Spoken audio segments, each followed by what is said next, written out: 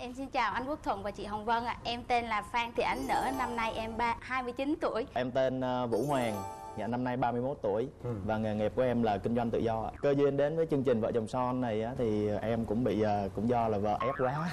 Dừng tham gia kỳ này á, là về nhà là ép hàng xóm tham gia chương trình này luôn á Có lẽ vậy. bị ghiền á rồi hai bạn gặp nhau trong trường hợp nào Dạ, tụi em á, quen nhau trên uh, Yahoo chat. Ạ. À, lúc đó thì thời gian em cũng rảnh rỗi nhiều buổi tối á, em à, thường hay ra mạng chat chít. Xong rồi cũng à, có anh à, bạn này vào chat làm quen.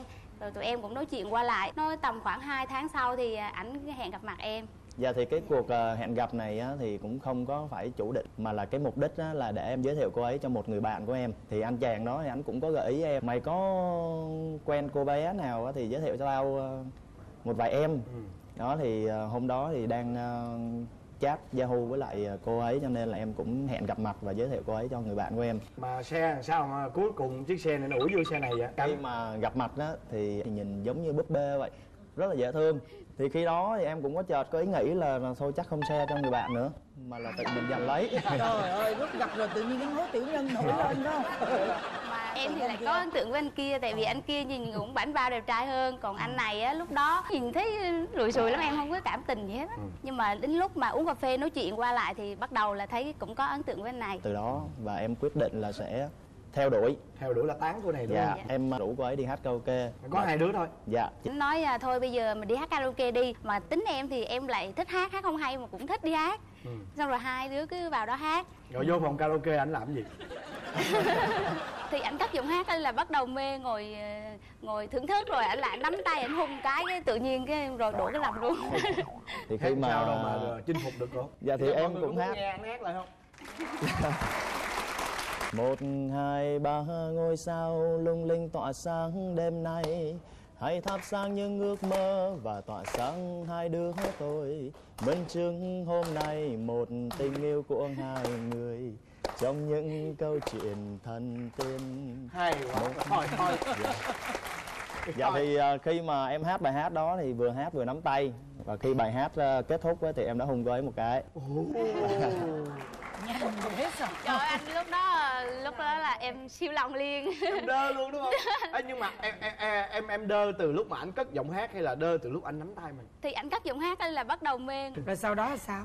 Dạ thì à, tụi em à, nói chung là chính thức à, là quen nhau lúc đó rồi à, Bao lâu thì- bao lâu thì hai bạn mới lấy nhau? Và Khi mà quen nhau được à, hơn 2 năm á, thì hai đứa quyết định tiến tới hôn nhân. Nhưng mà có một lần chia tay cũng một năm á chị em bỏ ảnh ở đây em đi về quê luôn. Nhưng mà sau khoảng 7 8 tháng cái đùng một cái ảnh nhắn tin liên lạc lại với em Lý cái tự nhiên. Thì cái vấn đề này á, là cũng là do sự trùng hợp không biết là là cơ duyên hay sao đó. Mà em gặp một người bạn cũ của hai đứa. À. cái anh bạn anh chàng bạn đó thì à, ảnh mới nói với em á là cô ấy bị bệnh và sắp chết đó. Wow. Em nghe cái cái cái cái thông tin mà người yêu cũ của mình mà sắp chết, chết thì thật đúng sự rồi, mà nói là rất là sốc. Và em quyết định á là sẽ liên lạc lại và để hỏi han rồi để ờ, tạo cho ấy được nhiều niềm vui. Ừ. em có biết được là anh nghĩ rằng em sắp chết không? Em không biết gì hết chị ơi tại vì nói chung cũng có bạn nó chơi thân với em mà cũng nó hỏi em ủa sao bà về quê gì mà về quê lâu dữ không vô? Em mới nói tụi sắp chết rồi vô làm gì? À. cái bạn em mới hỏi ủa sao lại sắp chết? Mà hồi lúc đó em hay coi phim hàn quốc em bị nhiễm á chị. Trời ơi trời. Em nói em bị bệnh ung thư môn trắng. Trời đất ơi.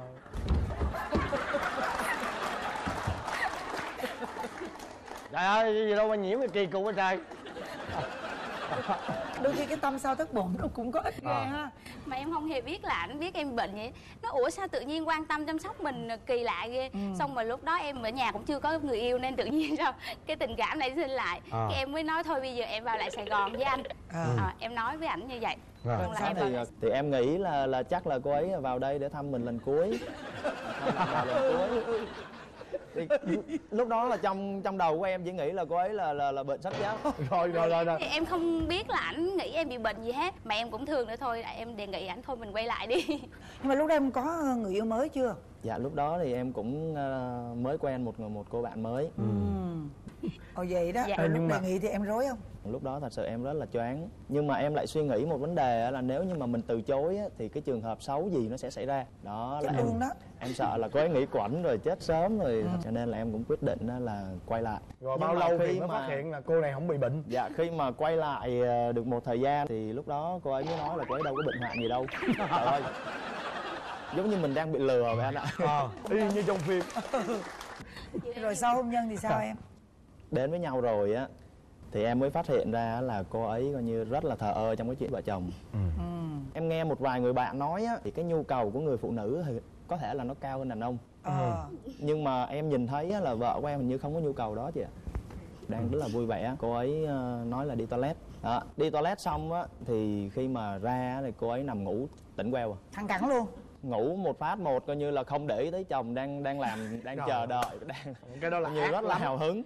Cái đó là rất là ác. Thành Bởi là vậy, một lần em thử cô ấy á là em không đụng tới không quan tâm tới trong vòng khoảng hơn một tháng. Và mặc nhiên là cô ấy coi như là cũng coi như không luôn anh ơi. Trời ơi. Em chê chồng em dở dạ không phải.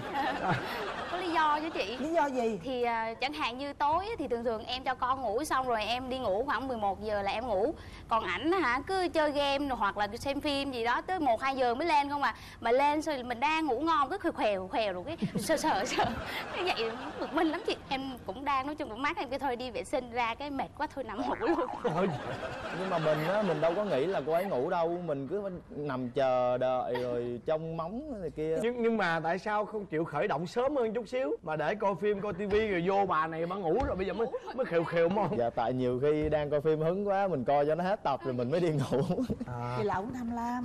Ông cái gì ông cũng muốn hết trơn á. Giờ em Dạ. muốn vợ em chủ động đúng không? Thì cũng đôi lần cũng phải đôi lần chủ động chứ trong cái vấn đề vợ chồng mà cứ để chồng nó tự chủ hoài cũng không có được. Rồi còn gì nữa rồi rất là hay cáu gắt khi mà giận chồng á thì đâu dám nói với chồng đâu không nói với chồng mà cứ đè con ra mà chửi bởi cái tính này thật sự là em cũng rất là bực. Mình á làm mệt muốn chết luôn đi lên hay là 11 nhiều khi em làm một mình giờ đêm em mới lên. Em mệt lắm luôn. Em lên em thấy con thì chưa tắm rửa gì hết. Cha thì cứ ngồi chăm chăm với máy tính tính hoài luôn. Cái em mới tắm cho con mà nó quậy nữa em bực mình em em chửi em đánh đó con. những lúc nhưng mà cũng đâu nói với em đâu lôi con ra chửi rồi đánh nó. Tại Ủa mà, vì mà, mà lý do là sao mà em không chửi thẳng ông này? Mà em lại lại giận tại gái vì chém hết em mà đó. em có nói với ảnh á là à, anh ơi tắm cho con giùm em cái này kia mà ảnh cứ không chịu tắm cứ ngồi hoài vậy. Chịu mà ảnh nói với em á là em từ giờ trở đi em đừng có bao giờ mà cứ cằn nhằn cằn nhằn nó đi nó lại với anh hoài. À, cho nên em cũng không dám nó đi với lại với ảnh. Cứ nhờ ảnh mà ảnh không làm thôi em lôi con mà nếu mà nó đi nói lại hoài bộ ổng xịt em hay sao mà em không dám? Tại Dữ vì lắm không? dạ, dạ không phải em giữ mà tại vì ờ, cái tính tao đang hỏi bên này mà. Tao đang hỏi bên này. Lấp liếm gì Ờ, cái này cái kêu Đó. là thả vú lấp ảnh vợ nóng tính lắm anh. Không tính mà mà có khi nào động tay động chân với em vậy thì cũng có một lần đánh em một cái. Con gái hả? Cho nên làm sao em ra? sợ quá em dám để cho anh đánh. Cái, cái lần đó không phải là đánh đâu anh ơi giống như là em đẩy giờ em á mà giờ em kêu là em đánh chứ thật sự không phải. Em đẩy thôi. Đẩy không cái đẩy nó có nhiều cái ví dụ đẩy nhẹ đẩy đó đúng không? Thì nó cái, cái, cái đẩy này nó nặng cỡ nào? Em quẹt ngang qua mặt vợ cái thì vợ cũng ờ, ngã ngửa ra đằng sau. Nhưng mà cũng không có đau không có gì hết. Cặp này là mặc dù là cũng lớn tuổi rồi đó 31 tuổi rồi 29 tuổi Dạ. đúng không? Vậy mà giống như là hai em bé mà ở chung nhà vậy đó hai người bạn tiểu học á ở chung nhà vậy đó. Vậy là ở nhà là có ba em bé tất cả. Nhiều khi bé 3 tuổi nó chững chạc hơn hai người này. Thực ra bây giờ cái chuyện mà em muốn ở vợ em cái điều đó là hoàn toàn chính xác. Mà chị thấy lúc chồng em bắt đầu chuyển qua cái mong muốn thay đổi của vợ đó là mặt rất là căng thẳng nha. Có nghĩa là thực sự muốn mong muốn đó. À, nhưng mà ngược lại á, thì em phải là người chủ động làm chuyện đó. Thì vợ em nó mới thay đổi được chị nói ví dụ Dạ. thôi giờ em muốn là ờ chồng ờ, vợ có chuyện gì buồn chồng thì đêm nói chuyện. Nói được không? Ông ôm cái game ông ngồi tới một Dạ. giờ đêm đó rồi nó cái thời gian đâu nó nói. Đúng không nè? Đó thì bây giờ em phải tạo điều kiện để cho vợ chồng có thời gian để mà nói những cái chuyện. Thì sau khi những cái chuyện rủ rỉ thổi lỗ tai nhau nói thế này nọ là cái chuyện kia nó sẽ tới đúng không? Dạ. Em có nghĩa nghĩ là em làm một chuyện mà thành ra là hai chuyện em được cả hai chuyện đó. Đúng không nè? Thì đó là cái mong muốn của vợ em đó Dạ. là chồng bớt ham chơi đi chồng để ý đến vợ con nhiều hơn nữa. Tụi em thử làm đi rồi tự dưng cái này làm cái kia qua Dạ. qua lại tự nhiên nó xúc tác với nhau à. Đó, là mỹ mãn thôi. Riêng anh thì anh cũng bổ sung một cái phần mong muốn em thay đổi. Đã có một lần em đã xô nhẹ vợ mình thì anh mong rằng là em hãy thay đổi đi cái tính. Đừng bao giờ động tay động chân trước cái nhan sắc rực rỡ bông hoa xinh đẹp này hả? Hứa không? Dạ cái điều này thì chắc là em hứa. Em Rồi. xin hứa được. Nếu mà có chạm thì nhớ nhắn anh nghe anh qua anh chạm bóng lại. Dạ. rồi xin cảm ơn hai bạn